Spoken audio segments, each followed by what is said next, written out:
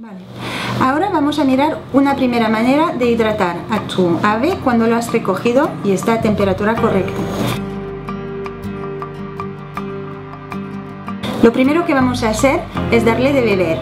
Es muy probable que el ave que has encontrado está deshidratado. Para hidratar a eh, una paloma, vamos a mirar de no poner agua adentro de la tráquea. Entonces, se puede poner nomás una gota a la comisura del pico y el ave se lo trae, se lo traga, así, ¿ves? Está bebiendo. Lo haré del otro, no sé si puedo hacerlo. También se puede poner a la punta del pico, pero gota a gota muy despacio